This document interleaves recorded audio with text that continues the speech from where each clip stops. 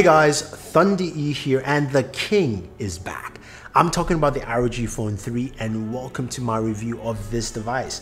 As we've been waiting for this device, this thing is a behemoth of a gaming device. And you know we love gaming devices on this channel.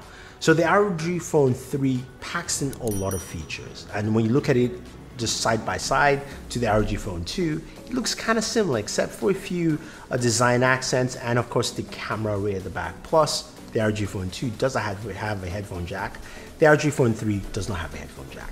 Uh, but the cameras are nice, 64 megapixels, 8K recording. We'll get to that because we care about what's under the hood. And under the hood, we have a Snapdragon 865 Plus processor. Yes, plus, plus, the new one. The new one that Qualcomm just mentioned, uh, which means better performance than the 865 and we, it's also coupled with up to 16 gigabytes of RAM, which is uh, what I have in this device. It starts from 8, it moves all the way to 16. Now, this is also coupled with 512 gigabytes of storage and max, which is what I also have, and we have a 6000 milliamp battery. You're going, wow, how long does that take to charge? Well, an hour and 45 minutes or so. Uh, and that's using the 30 watt charger that comes with it. And I will say this though, it takes about an hour and uh, maybe 10 minutes to charge all the way to about 89, 90%. So the last 10% really trickle charges you on this device, just something that happens. But anyway, besides that, what else do we have in this device?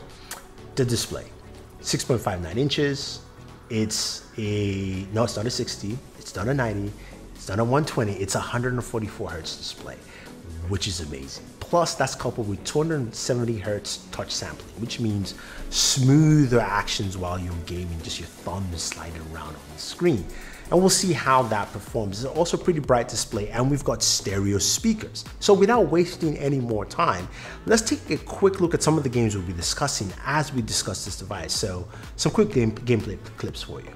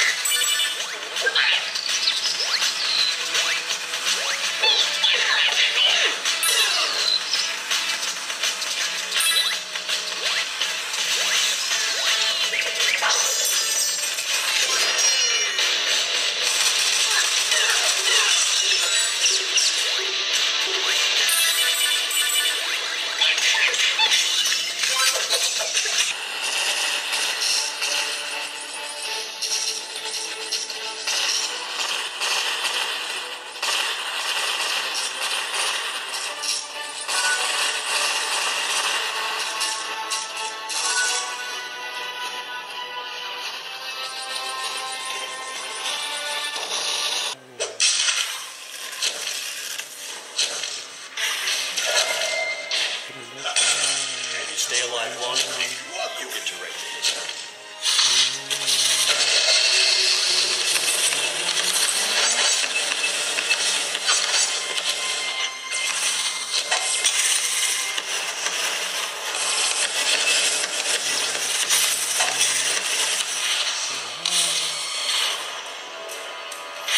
All right, so as you know, I had to start off with Call of Duty Mobile because I play a lot of COD, Warzone. Call of Duty Mobile is my go-to on a mobile device. And the first thing I'll tell you is that it runs well.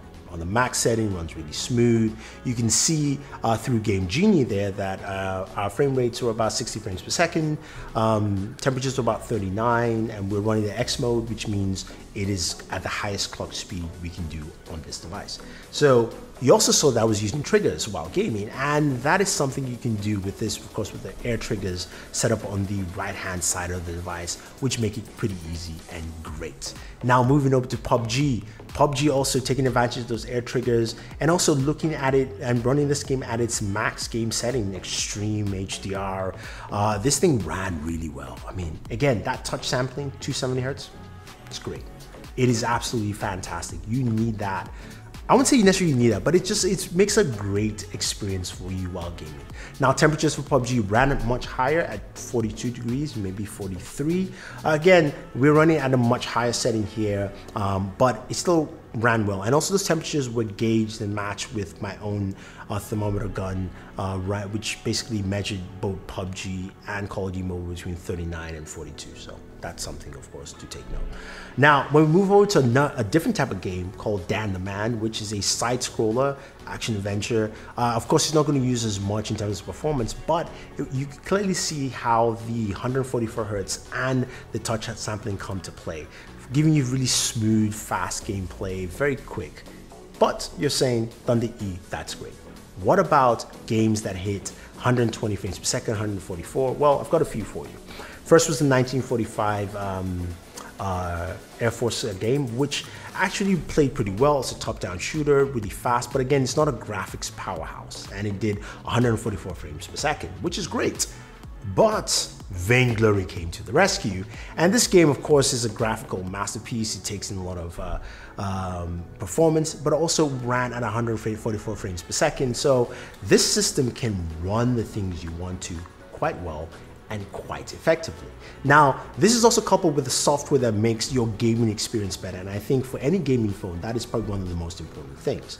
So one of the first softwares you always want to check out is the Game Crate. Game Crate is a piece of software that allows you to go through your game library and you know that's something that's normal, but you can launch your games directly. You can also set up scenarios for your game. So you can clean the memory, you can set up the performance you want that game to run at, the display, touch sensitivity, uh, refresh rates, all those things. You go for every single game you want to, so you could do that.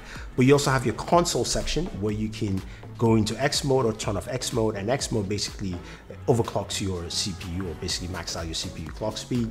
You can clean out your RAM, you can change your fan speed for the fan that you use while gaming, also the lighting effects and all that stuff. And speaking of that fan, um, we've got a, a fan uh, that comes with the ROG Phone 3, which came with the ROG Phone 2 as well. Now, that's pretty cool because you can connect it to the side USB ports. This uh, the device has two USB ports, one on the side, one on the bottom, and, one, and another one on the side. And that USB port connects uh, to give you an external fan to cool your system. I will say the fan was able to drop temperatures about three or four degrees, but I was a bit disappointed it was didn't drop temperatures as much as I experienced with the ROG Phone 2. So that's a little bit of a bummer, but I think that's something that'd be changed with changing the fan. Uh, um, revolutions, and that's pretty much that. But with the fan, you do have an extra headphone jack, which is missing on this device, so you do have the ability to use headphones if you're using the fan of the ROG Phone 3.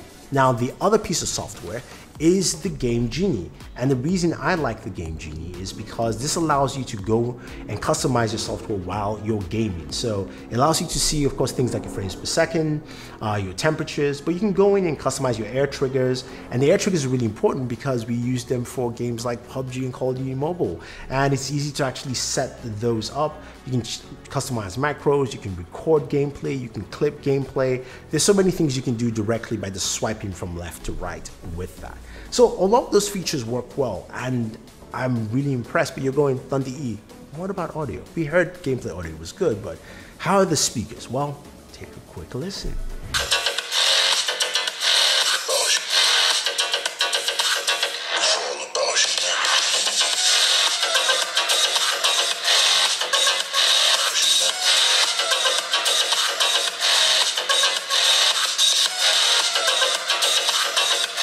So the speakers are good. They're really good. They're loud, they're boomy. Um, you know, you've got a built-in EQ as well, where you can customize that. You can change the bass, the treble, uh, all the different settings in the EQ. You've got different customization. So you've got a lot of things to do there, giving you some really clean sound. I think uh, this is an overall solid gaming package, but as a phone, you still have cameras.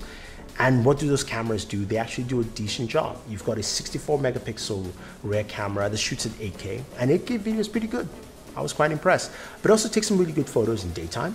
Um, also takes some really good portrait photos with a rare with a rear camera as well, um, and also takes some decent nighttime photos as well. So you've got an array there, and the front-facing camera at 32 megapixels does a good job in capturing um, really solid photos and also um, doing some good portrait shots as well. So as a gaming phone, this is like a good bang for your buck all around in terms of just performance and also extra features. Uh, the 144 hertz display is really nice, really smooth motion while just running around the uh, the OS. You can set it on 144, you can drop it down to 60. You can set it auto, so it actually just uh, maximizes your battery life. And battery life on this is really nice. If you are running at 144 hertz and you are gaming, you will still be able to use this phone for a whole day. That's pretty cool. 144, 144 hertz on the display is not an easy thing to do. Uh, so I was quite impressed with the battery life on this thing. Um, I would say yes, some gaming, not extensive gaming uh, on that note, but the battery life is truly impressive. And with everything that's coupled together, I think a lot of people will like what this device brings to the table. Now, I will say though, in terms of cost, um, I don't have the American pricing for you. I do have the British pricing, and I can tell you that it starts off with the ROG Phone 3 Strix Edition, with his, which is the 865, 8 gigs of RAM, 256 gigabytes of storage at 799 pounds, and goes all the way up to the ROG Phone 3 with the 865 Plus, 16 gigs of RAM, 512 gigabytes of storage at 1099 pounds. So US pricing will come and it most likely will differ, uh, but that's where the phone lands, at least with the pricing that I know. So if you have any questions or any comments about this device, if you want to know more, let me know. Uh, otherwise, don't forget to like, share, subscribe. Leave your thoughts. What do you think about the ROG Phone 3? Is this what you were looking for in a gaming phone? Are you excited about it? Or what do you would you like to know? Just leave your questions, guys. Otherwise, thank you very much and always enjoy your entertainment.